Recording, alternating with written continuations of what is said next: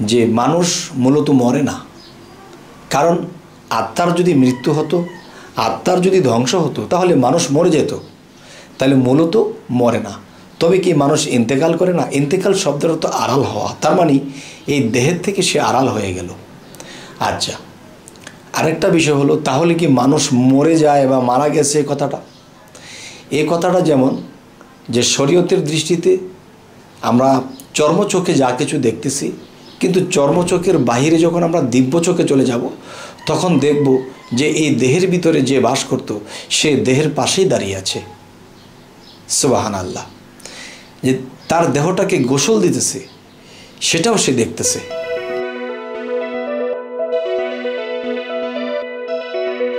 হে জগতবাসী আজ আমি স্বামী মালি চিস্তি আপনাদের সামনে যে আলোচনাটি নিয়ে আসলাম, সে আলোচনাটি হলো যে আমরা এই সমস্ত কিছু সৃষ্টির আগে ছিলাম। নাউজুবিল্লা এটা কেমন কথা? সমস্ত সৃষ্টির আগে আমরা মানব জাতিরা কীভাবে ছিলাম?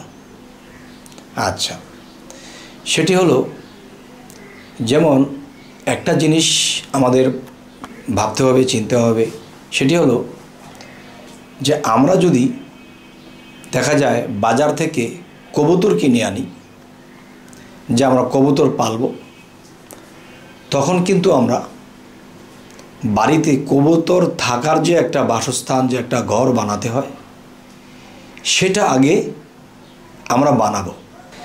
তাই বলতে চাচ্ছি যে সমস্ত কিছু সৃষ্টি করেছেন আল্লাহ।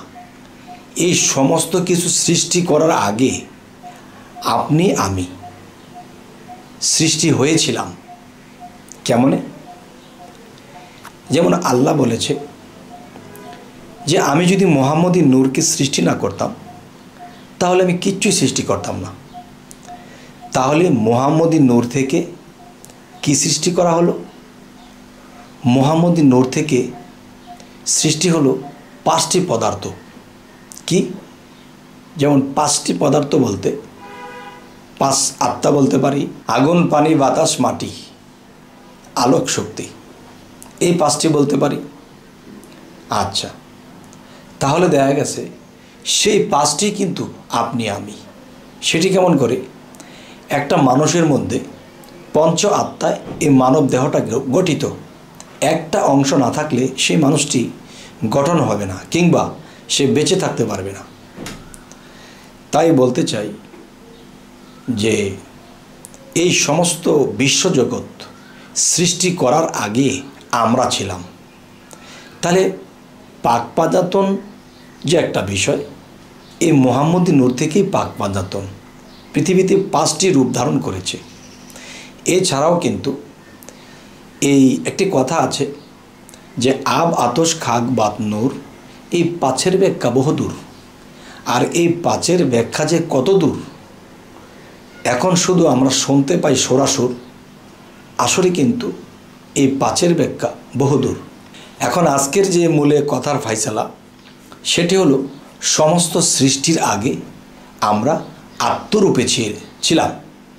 আর আত্মরূপ যে ছিল, সেই আত্মা কি মোহাম্মদী আত্মা? আচ্ছা সেই মোহাম্মদী আত্মাই জীব আত্মা, যাকে সিফাতি নূরে জীব সৃষ্টি হয়েছে এবং জাতি নূরে আল্লাহ স্বয়ং।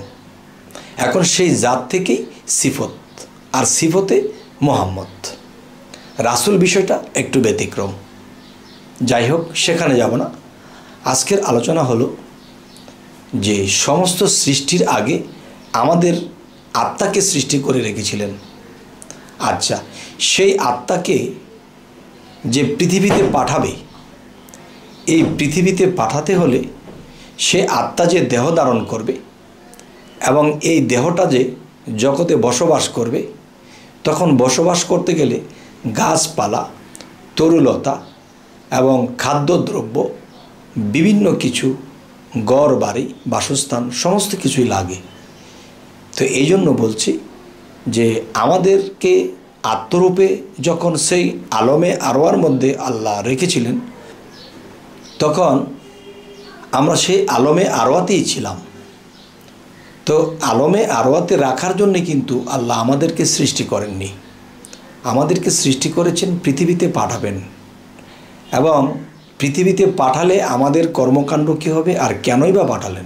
সেটি হলো যে সুরা মূলকে বলা হয়েছে ওয়াল্লাজি খালাকাল মাউতা ওয়াল হায়াতা লি আবলু ওয়াকুম আয়াকুম আহসানু আমালা ওয়াহুয়াল আজিজুল গাফুর। অর্থাৎ যে আমি মানুষের মৃত্যু ও জীবন সৃষ্টি করিয়াছি পরীক্ষা করার জন্য। তোমাদের মধ্যে কে কর্মে উত্তম? তিনি পরাক্রমশালীর সাথে মিশবে। তবে আজকের যে আলোচনাটি সেটি কি? যে আমাদের সমস্ত আত্মা সৃষ্টি করা হয়েছিল সর্বপ্রথম আগে। এরপরে কি করা হলো? যে কবুতর এনে আমি রাখব কোথায়?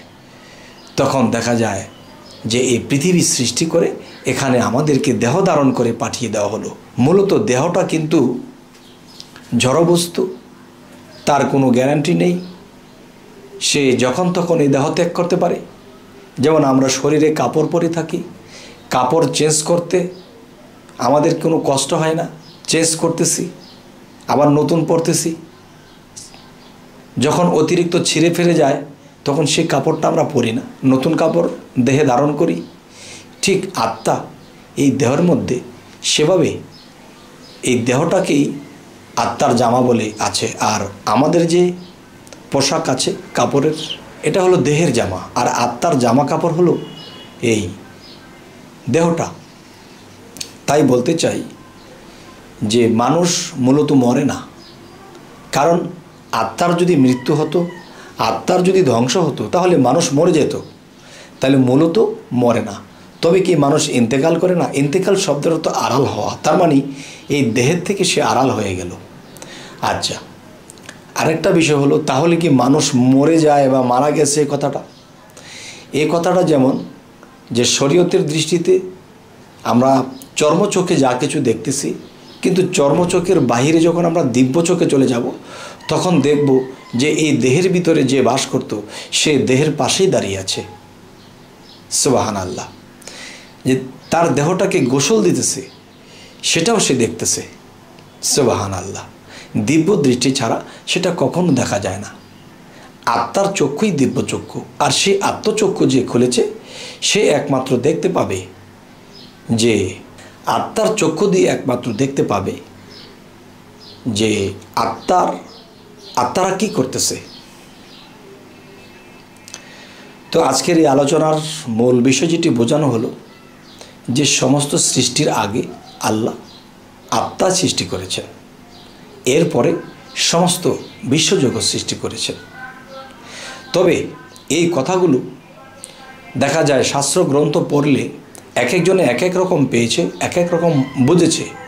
কিন্তু এই কথাগুলো একমাত্র তিনি স্পষ্ট বুঝবে এবং বিশ্বাস করবে এবং মানবে যিনি দিব্য দৃষ্টি খুলেছেন। হে জগতবাসী আজ এ কথাগুলো বলে আমি রাখব। কিন্তু আমাদের যদি এই আলোচনাগুলো আপনাদের ভালো লাগে, তো অবশ্যই সাবস্ক্রাইব করে রাখুন। পরবর্তীতে আমাদের এই আলোচনাগুলো আপনারা পেয়ে যাবেন। তো এই বলে আজ রাখব। সকলেই ভালো থাকবেন। আল্লাহ হাফিজ।